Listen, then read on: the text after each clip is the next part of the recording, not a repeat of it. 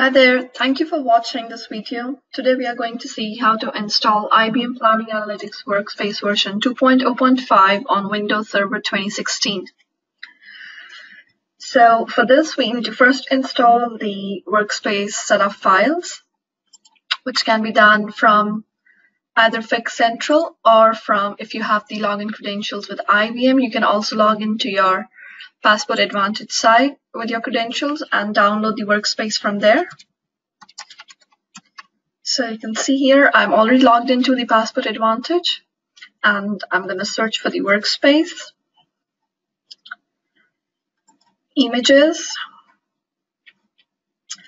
and these are all the versions of Workspace available for download and here you can see they have two files. One is for the Microsoft Windows Server 2016 and the other one is if it's for a 2012 version. 2012 Windows Server download file. So I've already downloaded the setup file. I have it me on my D drive. These are all the files that we're going to need to use Workspace on this machine. So next, we start with our installation. So before we install the workspace, we need the Docker. So if you go to Google and you put in Planning Analytics Workspace installation, you see the IBM link. Let's go there and follow the steps that we need to follow. If you go to the prerequisite, so here we are going to do the installation on Windows Server 2016. So let's go to the installation of Docker on the Windows Server. We will be installing Docker Engine Enterprise Edition for the Windows Server. However, before we install the Docker, we need to check if we have the Windows Container Service already installed as the same is required before we can start and use the Docker. So let's check the Windows Server container first. We go to the Windows PowerShell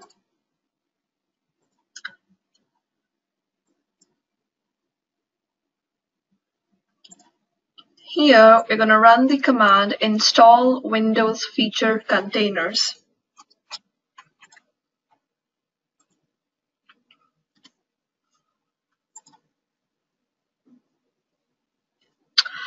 Now it has installed the Windows feature containers.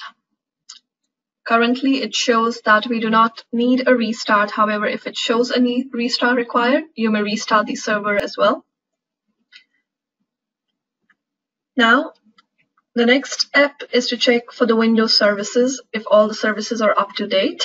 So for that, we're going to mention write down the command sconfig.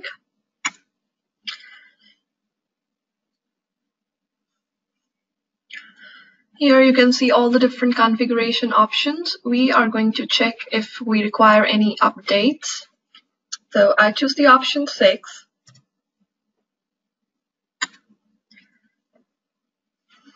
So it is asking if we are going to check all the updates or the recommended updates only. So let's select the recommended updates. Okay, so it has checked for the updates and there are no applicable updates. Let's exit out from here. So now we are going to start with the installation of the Docker. So go here, um, let's click on Install Docker Enterprise Windows Edition. It would then direct us to the Docker site. So here you can see the requirements for installation of Docker on the Windows Server. We need a RAM of 4 gigs, a minimum disk space of 32 gigabytes, um, we're going to run these commands in the Windows PowerShell command prompt. So let's open up a new prompt window. And let's run install module docker msft provider force.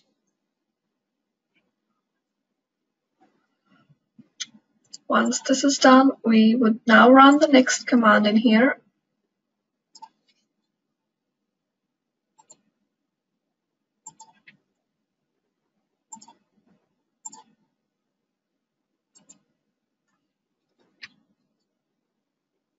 Okay, so now the Docker version 18.09.3 is installed. Once we have the Docker installed, we can check if the server now needs to reboot.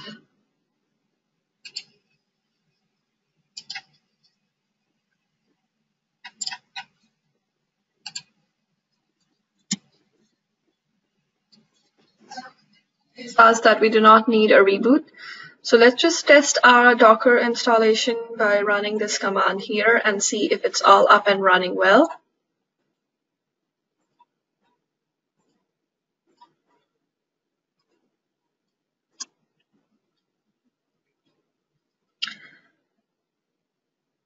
Okay, so it says that the Docker client must be run in elevated form to connect, and it may also indicate that a Docker daemon is not running. So for this, we will go to the services window and check if our Docker daemon is running. So if you see here, the Docker engine is not running. So let's start this.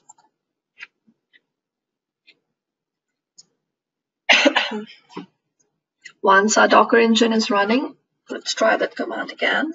So we've got the same reply as we have here from the Docker Engine Enterprise, which shows that our installation is now complete and the Docker daemon is running well. Next, once this is done, we now need to go to the next step, which is download and install the latest supported version of Docker Compose for Windows Server 2016 from the following link. So here on the GitHub site, if you scroll down, you can see all the versions available and for Windows, Linux, Darwin. So from here, I have already downloaded the Docker Compose Windows 64.exe file and this file is to be placed in the C drive in your program files, Docker. So I have the file with me here.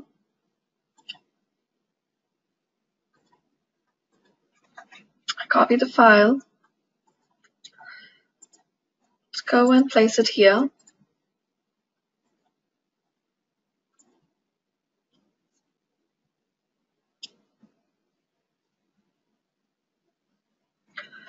Let's run the Docker Compose.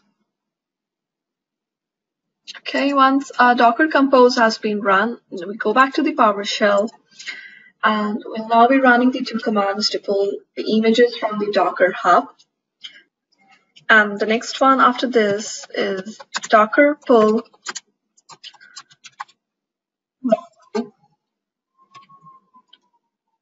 3.2 Windows Server Core. Okay, so now this is done. So now once our Docker and the images are all done and installed, we'll be restarting the server once before we start with the installation of the workspace. So I'm going to pause the video, restart the server, and then we continue again from there. All right, our server is now back up. Now let's start with the installation of the workspace. So for this, we are going to run following command in the PowerShell terminal window. Let's copy this command.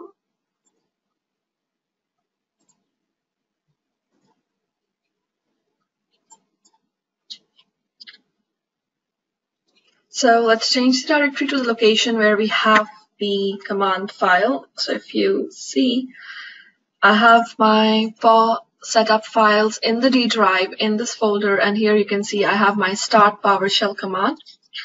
So now we are going to run this command as an administrator from the Windows PowerShell terminal. So let's go here and let's run the command.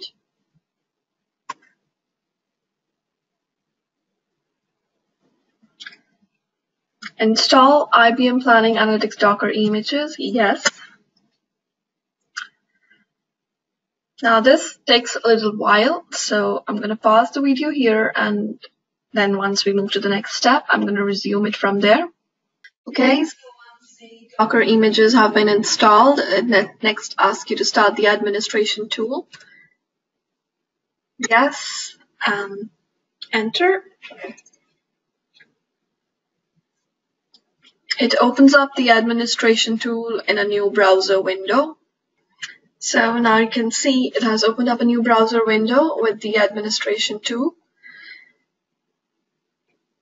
Herein, in my TM1 admin server URI, I would be entering the admin server URI where I have my SQL. Similarly, I would have my application server gateway and my login server gateway. Now let me validate these. Make sure that all the ports are open. Okay, the configuration has been validated. Let's update the services. Okay, let's check the status of the service. So let's refresh this.